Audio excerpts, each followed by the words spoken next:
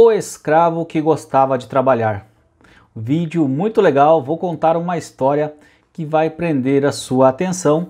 Vou utilizar aqui uma passagem desse livro, O Homem Mais Rico da Babilônia, e vou contar uma história que vai te mostrar como o trabalho é importante para você construir riqueza, fortuna e atingir a tão sonhada liberdade financeira.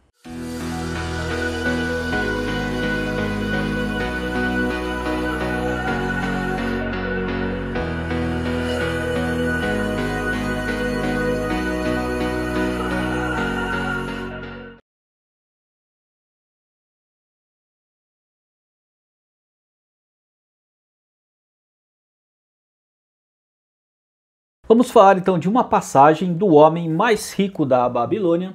Este livro aqui, acho que dá para ver, né? O homem mais rico da Babilônia. Livro interessantíssimo, inclusive eu sugiro a leitura. Mas se você quiser ganhar tempo, tem um audiobook que eu vou deixar o primeiro link na descrição desse vídeo. Corre lá, audiobook, você coloca o fone de ouvido, vai caminhar, vai fazer as suas atividades e vai poder escutar o livro. Eu já escutei duas vezes o audiolivro, já li duas vezes o livro, porque os ensinamentos aqui são muito importantes. Vamos falar então do homem mais rico da Babilônia, mas já vou te pedir, deixa aqui embaixo o seu like também, que é importante para que o canal cresça e você cresça junto comigo, beleza? Vamos falar do primeiro personagem que se chama Megildo. Olha o nome dele, são os nomes estranhos. Na Babilônia tínhamos nomes estranhos. Megildo era um escravo que estava acorrentado junto com outros escravos que estavam sendo levados para a Babilônia e possivelmente eles iam trabalhar na construção do muro da Babilônia. Era um trabalho árduo, pesado, sendo chicoteado, muitos escravos morreram na construção dos muros da Babilônia. E quando então esses escravos estavam indo para a Babilônia, certamente desesperados porque poderiam trabalhar carregando tijolos, pedras para construir os muros. Então o Megildo falou o seguinte, que ele não tinha medo do trabalho, o trabalho sempre ajudou ele e aonde ele fosse ele ia trabalhar o melhor que ele pudesse. Mas sugeriu aos outros escravos que estavam ali acorrentados que quando eles fossem para a Babilônia, primeiramente eles poderiam ser vendidos para a os senhores da Babilônia. Se não fosse vendido, aí sim iria ser escravo na construção dos muros. Então Bengildo falou que o trabalho era o melhor amigo dele, porque através do trabalho ele tinha comprado muitas coisas na vida dele, tinha fazenda inclusive, mas aí começou a beber, começou a gastar, se envolveu com jogos e perdeu tudo e virou escravo. Mas falou que o trabalho era amigo dele. Olha que ensinamento bacana. Então me, o, o Megildo falou isso e um dos escravos acorrentado era o Charunada, outro nome estranho, Charunada. Ele seguiu os conselhos de Megi, Megido e decidiu que quando fosse ser feitas negociações na Babilônia, ele ia falar para todo mundo que estivesse ali que ele era um escravo, que gostava de trabalhar ia trabalhar muito para o seu dono. Naquela época era normal, né, um homem ser escravo, ser vendido como mercadoria. Então o Charunada, ele foi lá, ficou exposto e acabou sendo vendido. E quem comprou então o Charunada foi o Nana Naide.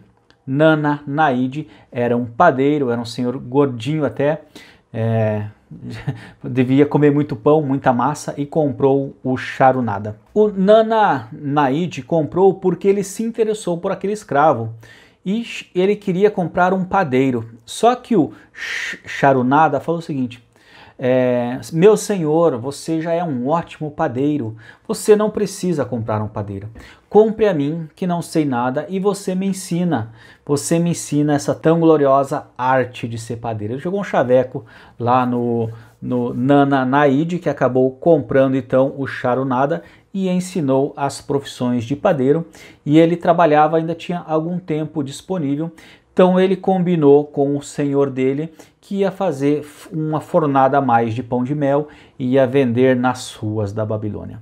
E com isso eles iam dividir parte do lucro, ele ia ficar com um quarto dos lucros e o resto era para o senhor dele. E assim ele fez, começou a trabalhar. Vou dar uma resumida na história, porque a história é longa. E dentre os escravos que estavam lá para ser vendido, tinha um que não queria trabalhar, era o pirata. Pirata falou: Não, eu não vou trabalhar, eu vou fazer corpo mole, eu não quero nada com nada. O que aconteceu com o pirata? Ele não foi comprado por ninguém, foi trabalhar na, na construção dos muros da Babilônia. Só que ele não gostava de trabalhar, começou a ser açoitado com chicotes e ele tentou fugir e matou um dos guardas do rei. Aí ele acabou sendo açoitado mais ainda, várias chicotadas, foi morto com chibatadas. Então o pirata, que não gostava de trabalhar, infelizmente morreu, morreu porque não trabalhou. Então a importância do trabalho. E aí o Charunada, vendendo pão de mel, começou a acumular é, dinheiro na época, era moedas de cobre, moedas de bronze, para comprar a liberdade dele. Só que o que aconteceu? Quando ele começou a trabalhar, começou a ganhar dinheiro, grande parte do dinheiro ia lá para o Nananaide, que era o padeiro, que deixou de trabalhar. Então o escravo trabalhava, levava dinheiro, o padeiro lá não quis mais saber de nada e começou a se envolver com jogos e bebida. Acabou perdendo grande parte do dinheiro que ele tinha e teve que entregar o escravo dele, o Charunada, para lá um emprestador de dinheiro. Então o Charunada foi voltar a ser escravo sem trabalhar porque o, o outro empregador dele não queria nada com nada e levou ele para construir os muros da Babilônia. Olha só que sacanagem. Só que quando ele estava lá trabalhando, não aguentava mais, apareceu o Arad Gula, que também foi um escravo lá na Babilônia e seguiu os ensinamentos do Charunada de que o trabalho era o melhor amigo. Só que quem falou isso não foi o Charunada, foi o Megido. E aí eles, a, conversando, falou: não, seguimos um ensinamento de Megido que falou que o trabalho era o nosso melhor amigo e nós dois estamos aqui. Você me comprou e ele já estava agindo como um escravo. Aí o Aradigula falou: Não, meu amigo, você não vai ser meu escravo, você vai ser um homem livre. Eu vou quebrar a tabuinha de barro que dizendo que você é um homem livre. E foi lá e quebrou a tabuinha de barro. Charunada virou um homem livre e fez sociedade com Aradigula. E os dois viraram comerciante, trabalhando, trabalhando, os dois ficaram muito ricos. Então, dois escravos com o seu trabalho construir fortuna. Moral da história: dê valor ao seu trabalho, guarde as suas moedas de ouro, construa sua fortuna e agradeça a cada dia que você vai trabalhar, que você tem saúde. O trabalho é o seu melhor amigo, é ele que vai te dar os rendimentos. Através da força do seu trabalho, vai ter dinheiro na sua vida, aí você vai pegar parte desse dinheiro vai aportar em investimentos e aí você terá uma outra pessoa trabalhando para você, que é o seu dinheiro.